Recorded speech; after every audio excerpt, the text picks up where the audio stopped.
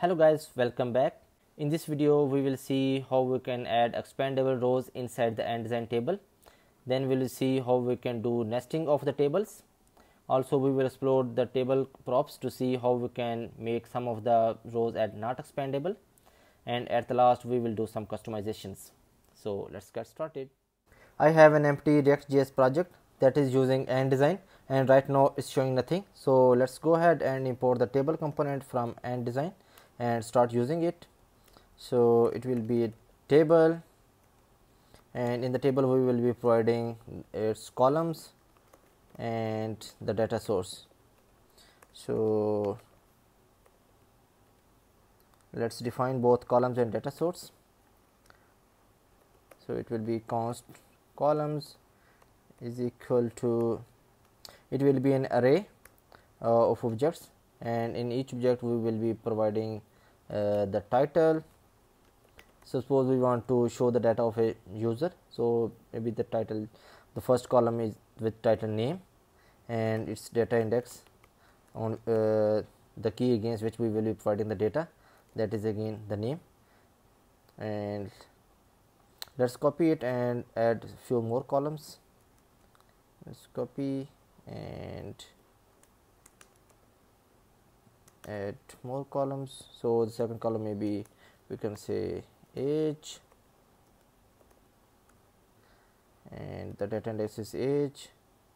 The third column may be address. And that data index is again address. And uh, for the data source let's define it. So data source is equal to uh, we define it from the empty array and uh, let's create a some dummy data. So maybe we can create uh, around 7 records and uh, each record will have at least uh, the data index we have provided above. So we will be pushing an object and in that we will be providing uh, the, the name the name data index and age and address right? So maybe we can say name and plus we can say index. Maybe we can start the index from 1 so that name 1 name 2 instead of name 0 and then the age maybe we can say it is equal to the index. And then uh, we can say address. And it's again address plus index right so let's save it and see. Here you go. So the first column name second column age third column address and this is the dummy data uh, we have created here. And we have we are pushing each object in, into the data source and we have provided the data source here and it, so it's populated right? So to sh uh, show uh, which of the uh, fields uh, which of the rows we want to make the expandable. So for that we will be using the expandable prop.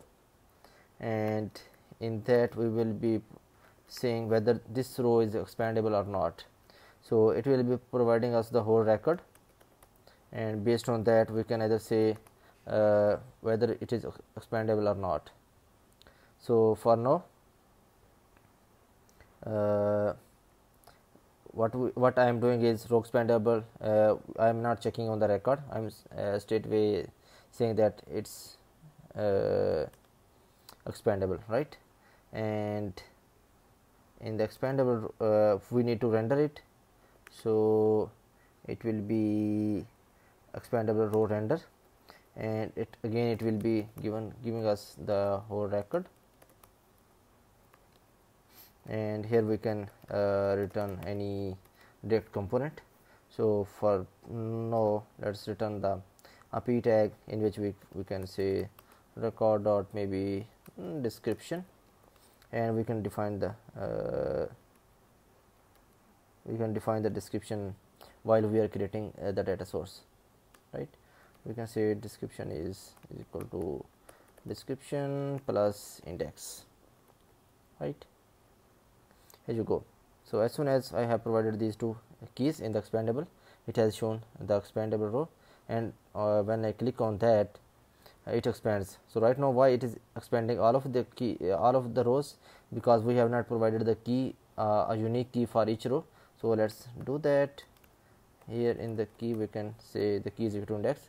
So it is uh, a unique for each row. If I save it and now if I expand any row it has expanded only that particular row right? And we can collapse it.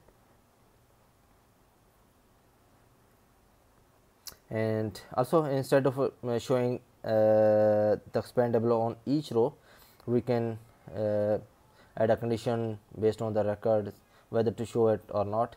So suppose uh, we say that if if record dot age is less than maybe 6 then show it. Right? So here you go. So when it is less than 6 so till 5 it is shown the, the plus icon otherwise it's not showing. Right? Because we have added a condition that only show the record uh, if the age is less than 6 right? So we can uh, do that uh, in the row expandable so here we have uh, shown only the p tag. We can even nest the tables inside that. So here we can return any React component or antd component here. So let let's uh, let's do the nesting of the tables. So here maybe let's add a condition that if suppose uh, record dot age are the are the key we can uh, because these are the same we can say if record dot age uh, is equal to equal to maybe on the fourth record we can say is 4 okay the spelling are not correct. Okay if the record dot age is equal to equal to 4 then we can return the table. And inside the table we will be providing the columns same we did above and also the data source. So let's define the column for the nested uh, table. Maybe because we are showing the data of the user uh, we can uh, extend that and we can maybe we have the name address and description here uh, including the age. We can add few more columns like uh, company name uh, with the data index of company name. And let's add one more column maybe. And we can say that company strength. And its company strength. Right? And we can use the same data source because we are expanding uh, that.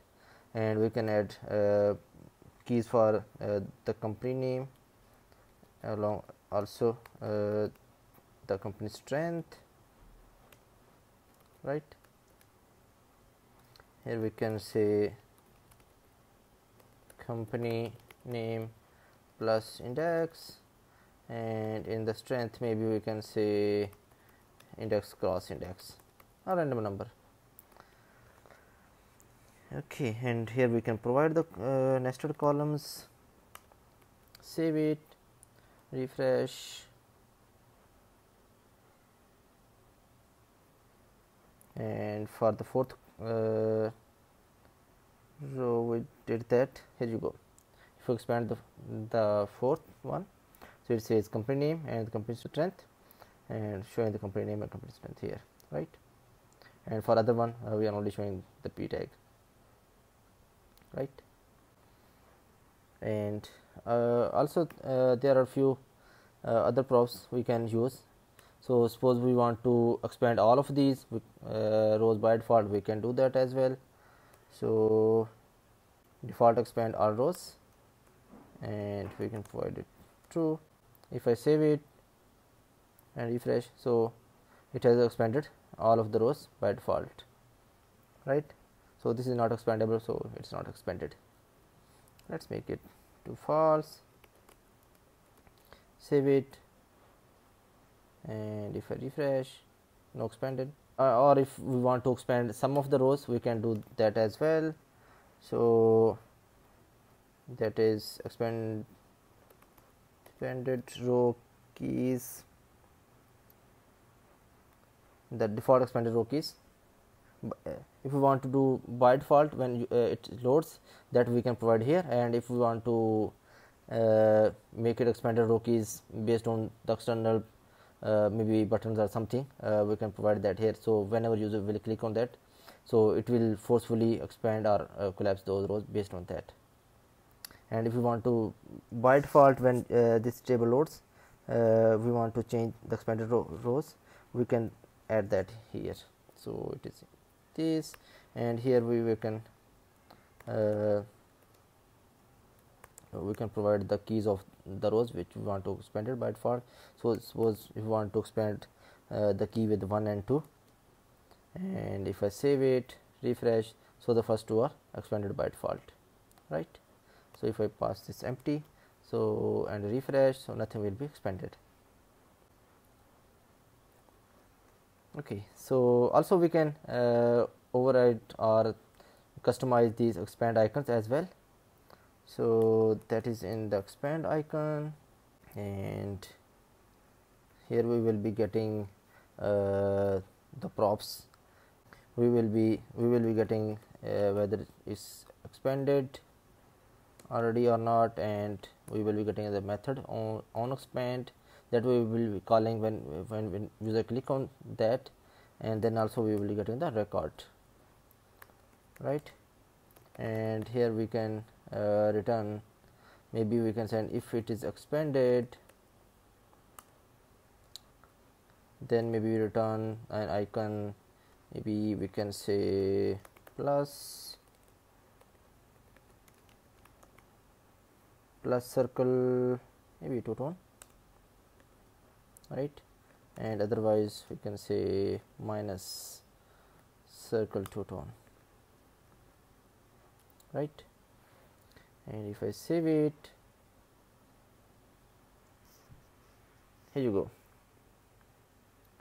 Oh sorry. If it is expanded uh, then it will be it should be minus otherwise plus just replace this. Here you go. The plus. Right now it's not expanding because we have not written the on click functions. So let's write that and on click we will be getting the event and here we will be calling on expand this function. And in that we will be providing the record as well as the event. So same goes for the other icon. Save it. Here you go. So showing the plus by default and if I expand it showing minus showing minus and uh, if I collapse it showing again plus right? Also you have not noticed that it is also showing the plus on the the sixth row. Uh, but we want do not want to show that on that row. So here instead of uh, returning uh, this plus and minus we will be adding a condition that if record dot age is greater than equal to 6 similar to condition we added here. Uh, in that case if if this uh, if it is greater than or equal to 6 then we will be returning null. And if it is less than then we will be returning the icons right? If i save it so there is no expand or collapse icon right? And also if uh, uh, if we want to expand or collapse based on uh, clicking on the whole row we can do that as well. So that is uh, expand row by click and returning is true. Save it and if I now click on the row it expands and then collapse so we can expand it by clicking on the plus or minus button uh, or we can expand or collapse based on the clicking on the uh, the whole row because this is not expandable. So if I am uh, clicking on that it, it will not expand right? So this is how we add the expanded rows or the, the nested tables inside the Ant Design table component so if you have any questions please let me know in the comments below. And if you have learned something in this video please hit like subscribe to my channel. See you in the next video. Thank you